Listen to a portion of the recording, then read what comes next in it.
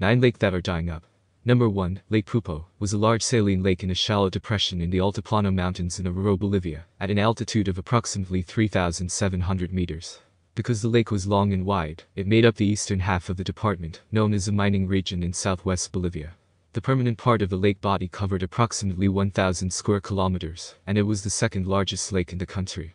The lake received most of its water from the Desaguadero River, which flows from Lake Titicaca at the north end of the Altiplano since the lake lacked any major outlet and had a mean depth of less than 3 meters. By December 2015, the lake had completely dried up, leaving only a few marshy areas, and massive dying off of local animal life. The death toll among fish has been estimated in the millions. An additional 500 or so birds, including flamingos and ducks, also died off. Although the lake has dried up completely twice in the past, it does not appear that it will recover this time. Suggested causes of the decline are the melting of the Andes glaciers and loss of their waters because of a drought due to climate change, as well as continued diversion of water for mining and agriculture. Number 2, Lake Eyre, is a great salt lake in central South Australia, with a total area of 4,281 square miles.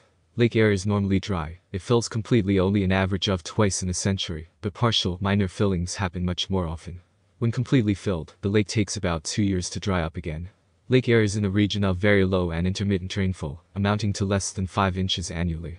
The lake is fed by a vast internal continental drainage basin, but evaporation rates in the region are so high that most of the rivers in the basin dry up before reaching the lake.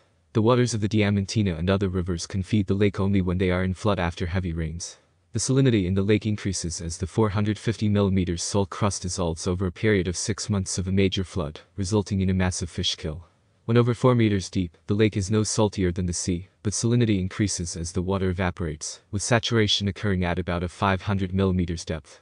The lake takes on a pink hue when saturated, due to the presence of beta-carotene pigment caused by the alga Dunaliella salina. Number 3, the Aral Sea, was an endorheic lake lying between Kazakhstan in the north and Uzbekistan in the south, which began shrinking in the 1960s and had largely dried up by the 2010s. The name roughly translates as Sea of Islands, referring to over 1,100 islands that have dotted its waters. Formerly the fourth largest lake in the world with an area of 68,000 kilometers, the Aral Sea began shrinking in the 1960s after the rivers that fed it were diverted by Soviet irrigation projects. By 1997, it had declined to 10% of its original size, splitting into four lakes.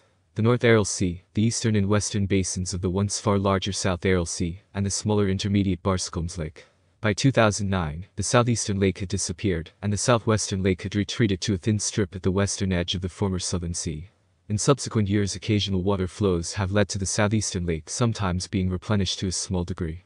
Satellite images by NASA in August 2014 revealed that for the first time in modern history, the eastern basin of the Aral Sea had completely dried up.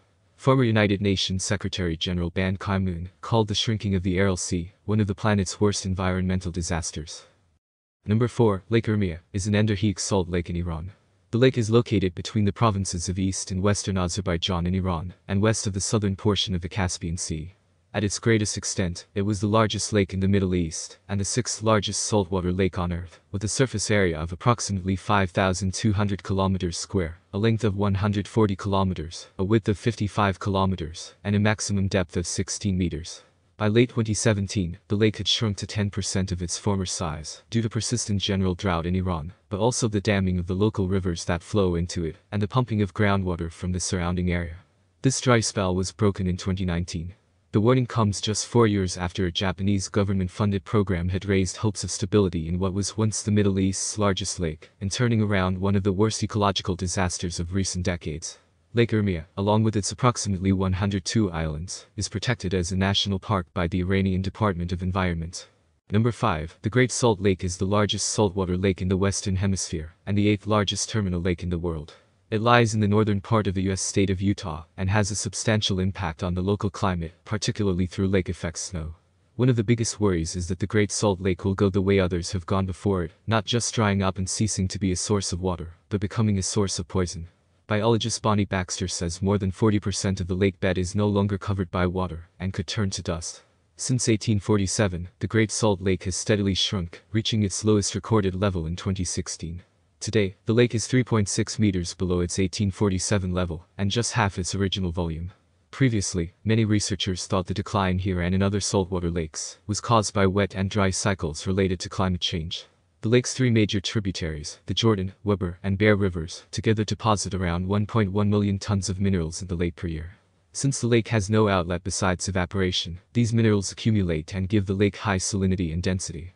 This density causes swimming in the lake to feel similar to floating. The lake has been called America's Dead Sea and provides a habitat for millions of native birds, brine shrimp, shorebirds, and waterfowl, including the largest staging population of Wilson's phalarope in the world. Number 6. The Dead Sea is a landlocked salt lake, is located between Jordan, the occupied Palestinian territories, and Israel. The Dead Sea has been dropping 1 meter each year, causing sinkholes and other major problems for the agricultural sector. The lake's surface is 430 below sea level, making its shores the lowest land-based elevation on Earth. It is 304 meters deep, the deepest hypersaline lake in the world, with a salinity of 34%. It is one of the world's saltiest bodies of water 9.6 times as salty as the ocean, and has a density of 1.24 kilograms per liter. This salinity makes for a harsh environment in which plants and animals cannot flourish. The Dead Sea's main, northern basin, is 50 kilometers long and 15 kilometers wide at its widest point. The Dead Sea is receding at a swift rate. Its surface area today is 605 kilometers square, having been 1,050 kilometers square in 1930. The recession of the Dead Sea has begun causing problems, and multiple canals and pipeline proposals, such as the scrapped Red Sea Dead Sea Water Conveyance Project, have been made to reduce its recession. Number 7. Salton Sea. The Salton Sea is a shallow, landlocked, highly saline body of water in Riverside and Imperial counties, at the southern end of the U.S. state of California. It lies on the San Andreas Fault within the Salton Trough that stretches to the Gulf of California in Mexico. The Salton Sea, which lies roughly in the middle of the massive geological point, isn't really a sea at all.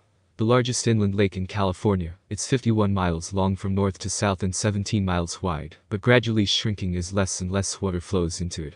At one time, it was a thriving entertainment and recreation spot, business that has also largely dried up. It's left behind abandoned buildings and shallow, gray beaches. The highways that ring the lake are traversed now mostly by passing trucks. Over the past few years, companies have been going there to extract a valuable metal, lithium, that the car industry needs, as it shifts to making electric cars. Lithium is the lightest naturally occurring metal element on Earth, and, for that reason among others, it's important for electric car batteries, which must store a lot of electricity in a package that weighs as little as possible. Number 8. Lake Powell is an artificial reservoir on the Colorado River in Utah and Arizona, United States.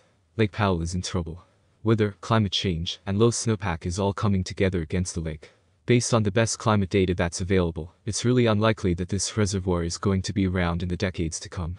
The West's climate change-induced water crisis is now triggering a potential energy crisis for millions of people in the Southwest who rely on the dam as a power source. Over the past several years, the Glen Canyon Dam has lost about 16% of its capacity to generate power. The water levels at Lake Powell have dropped around 100 feet in the last three years. The federal government which technically owns the hydropower flowing through federally managed dams, sells the electricity to states for what is often far less than the commercial market price. In a worst-case scenario, the Interior Department projects the dam could stop producing power by January. The climate crisis is forcing both federal and state governments to make tough choices and take drastic measures just to keep both power and water flowing to Americans in the Southwest. The Interior Department is expected to make a final decision on how to handle the dire situation at the dam by early May. Number 9. Lake Mead, as a reservoir formed by the Hoover Dam on the Colorado River in the southwestern United States.